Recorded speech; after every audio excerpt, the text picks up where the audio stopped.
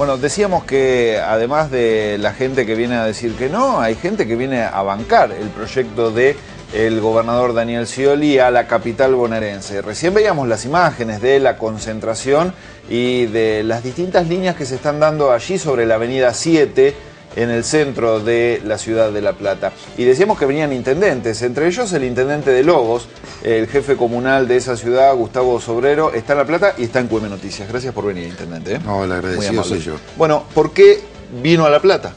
¿Por qué hay que apoyar las medidas del gobernador?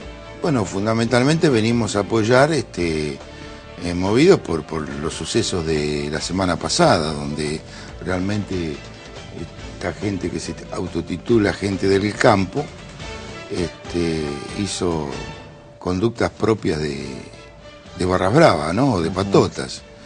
Eh, nosotros venimos a manifestar nuestro apoyo a la sanción de esta ley por las circunstancias en que está viviendo la provincia de Buenos Aires y porque se trata de un hecho de justicia, que es actualizar el revalúo, eh, es decir, el valor que tiene la tierra en la provincia de Buenos Aires. ¿Cuánto es el valor fiscal de una hectárea, a manera de ejemplo, en Lobos, por ejemplo? Y no llega a mil pesos, no llega a mil pesos, y todos sabemos que eso es una... Un chiste. Es un chiste.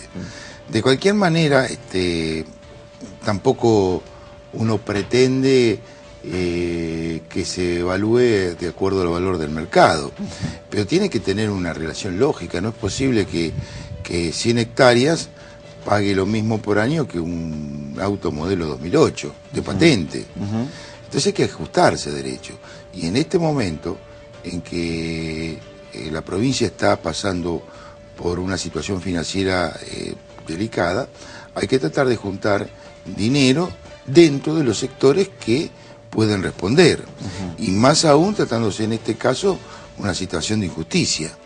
Más allá de eso, hay como multipropósito para convocarse a La Plata, porque también estas medidas que impulsa el gobernador Daniel Scioli les traen algún tipo de ayuda financiera también a los distritos, ¿no? Empezó el año bastante complicado en ese sentido porque desde el gobierno bonaerense se decide achicar la, la coparticipación que llega desde la provincia a los distritos. Bueno, acá aparece también un salvoconducto como para emprolijar un poco esa situación, ¿no? Exacto, pero no va a cubrir el bache que los municipios.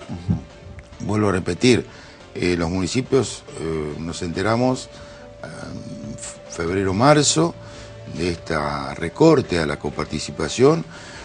No es, podemos decir recorte, uno cuando hace un presupuesto presupone eh, y en esas presuposiciones nosotros teníamos un dato de economía cuánto iba a ser la coparticipación. nos dijeron que iba a ser bastante menos, bueno, nos tenemos que adaptar. Sí, claro.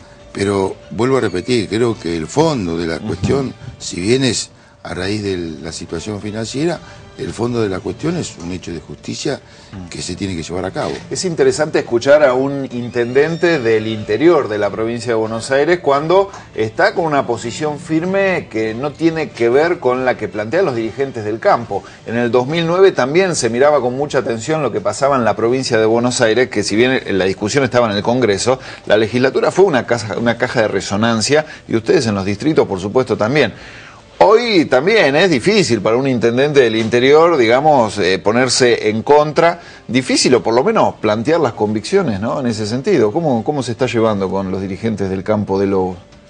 Por a mí realmente este, no es que sea más que nadie, ¿no? Pero a mí no me resulta difícil, porque nosotros estamos convencidos que este es un proyecto de inclusión, de distribución y que hay que tomar medidas para conseguir esos objetivos. Y las medidas se van tomando eh, con mucha seriedad y con mucha justicia. Que ante problemas este, financieros, ¿qué vamos a hacer? Eh, aumentar el IVA que le llega a todo, el, a todo el pueblo o buscar los sectores que han sido beneficiados durante muchísimos años y tienen una situación de privilegio con respecto al resto de la población y pedirles que hagan un esfuerzo. Eh, lo que sucede es que hay un grupo, un sector minoritario que durante muchísimos años ha vivido de esos privilegios y hoy este se resiste a, dejarlos.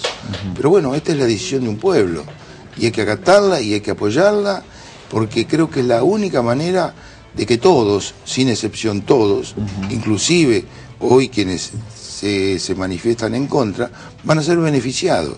con el crecimiento, con la distribución y sobre todo con la felicidad de, de la gente, ¿no? Porque, eh, hablemos claro, este, en este país durante muchos años, muchísima gente estuvo relegada y muy pocos disfrutaron de esa fiesta que, se armó, ¿no? Lo, ¿Le siguen expresando felicidad a los dirigentes? ¿Le siguen regalando huevazos cuando...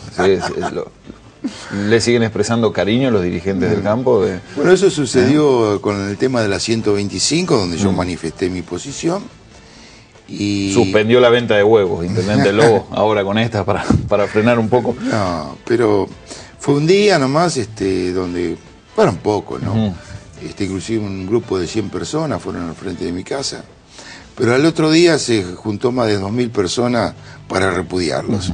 O sea eh, que... Está claro, está claro. Eh, le pregunto como un hombre que administra una comuna que, bueno, que, tiene un fuerte ingreso, que debería tener más ingreso en todo caso por parte del de, eh, campo. Los productores dicen, bueno, ¿por qué en vez de cobrarnos un impuesto por la cantidad que tenemos, no nos cobran un impuesto por lo que producimos? Si tenemos una buena producción, pagaríamos más impuestos y en caso de no ser así. ¿Esto es viable?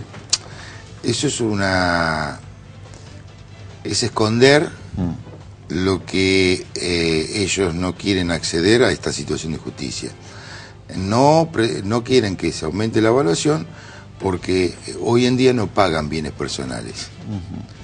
Y este, aumentando la evaluación van a superar la barrera ¿no? de, que impone eh, la FIP para a tener que tributar bienes personales y lo van a tener que hacer. Yo creo que ese es el key de la cuestión, de los grandes, porque los chicos no van a seguir pagando bienes personales.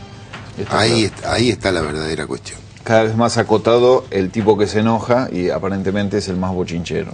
No, no seguro, seguro, que, es seguro que es Bueno, Intendente, le agradecemos mucho. ¿Lobos bien? ¿Anda bien? bien ¿Cómo está la laguna? Muy bien. Gracias a Dios la hemos recuperado, tuvimos los efectos de la sequía eh, nos quedamos sin ningún pejerrey, ya lo estamos recuperando. Uno ya hace Atención pescadores, ¿no? Digo que el lobo suele ser un destino elegido para ir a la, práctica de este deporte. Hay buenas carpas ahí, todavía hay pesca.